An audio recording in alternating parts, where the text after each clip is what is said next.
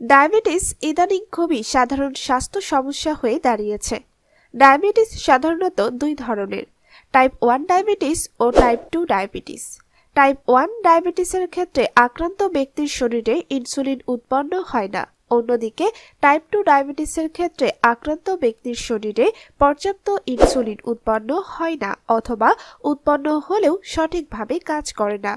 কিন্তু ডায়াবেটিসের লক্ষণ বুঝতে পারলে ঘরোয়া উপায়ে এর প্রতিকার সম্ভব।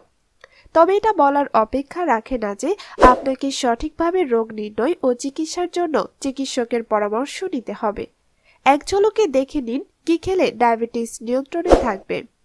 আম পাতা তিন থেকে চারটি আম পাতা জলে ফুটিয়ে নিন। প্রতিদিন সকালে এই মিশ্রণটি খেলে ডায়াবেটিস হওয়ার সম্ভাবনা কমে। আম পাতা শুকিয়ে গুঁড়া করে রাখতে পারেন। দিনে দুবার আধা চামচ করে এই আম পাতার গুঁড়ো খেতে পারেন। মেথি। ডায়াবেটিসের সবচেয়ে ভালো একটি প্রতিকার হচ্ছে মেথি।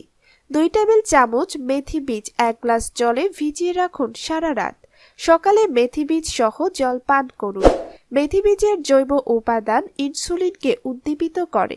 এছাড়াও, এতে উচ্চ মাত্রার ফাইবার থাকে বলে স্ট্রাচকে গ্লুকোজে পরিণত হওয়ার প্রক্রিয়াকে ধীর করে, যা ডায়াবেটিসে আক্রান্তদের সাহায্য করে।